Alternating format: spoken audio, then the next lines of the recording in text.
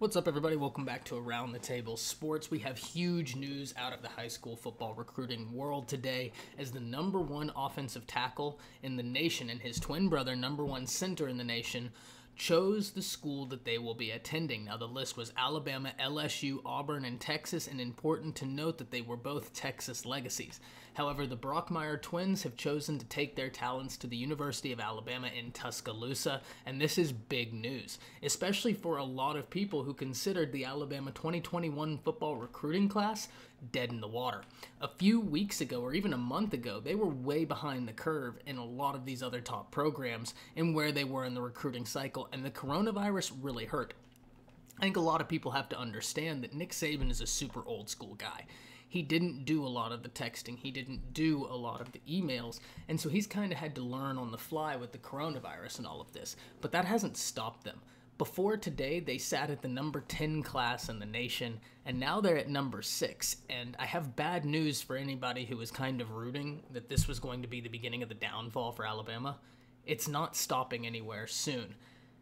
And even on top of that, according to 24 7 Sports, they have the second best average player rating in the nation behind only Ohio State, who sits at a 94.85 average recruit rank, Alabama's at a 93.93, and LSU is right on their heels at a 93.46.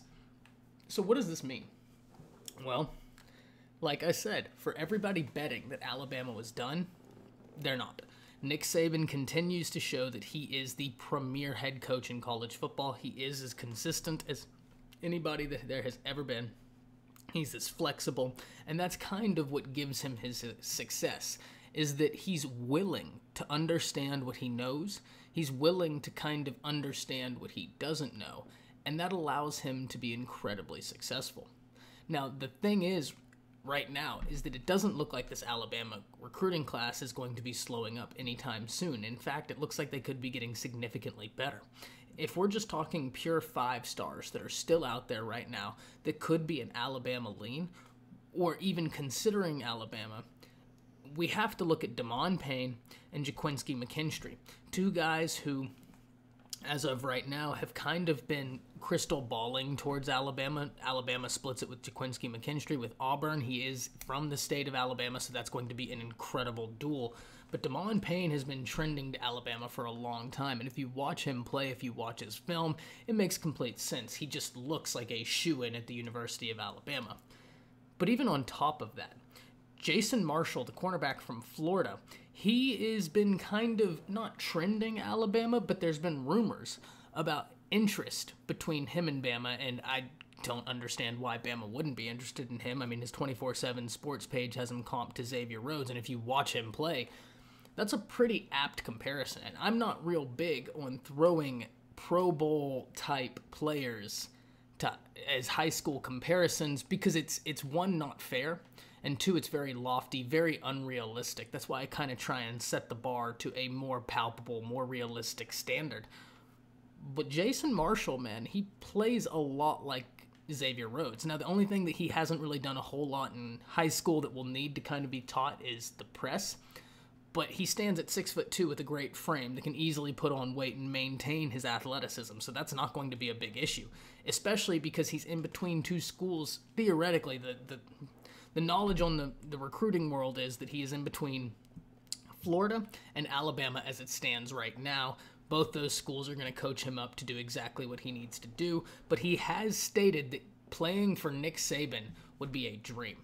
So if we look at this right now, Alabama has three five star recruits. I believe they're going to snag Demond Payne, and I think that one of the two, Ga'Quincy McKinstry or Jason Marshall, will also be coming along on this class.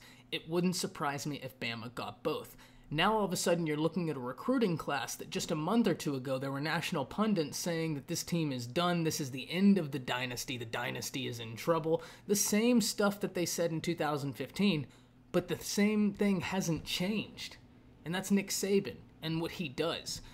And I think we need to put a bit more faith in that because even though this is a guy that has had to learn how to recruit on the fly during the coronavirus, it's still one of the if not the premier institution in college football to go play go play at. You have LSU, Ohio State, OU, Clemson and Alabama really ahead of the pack. And I say that because even though this is LSU's first national championship, they're always a great team. They're always very loaded. And Georgia is in that conversation as well as one of the premier programs inside of college football. Those schools right now, it always kind of blows my mind when pundits are saying, oh, well, they're done.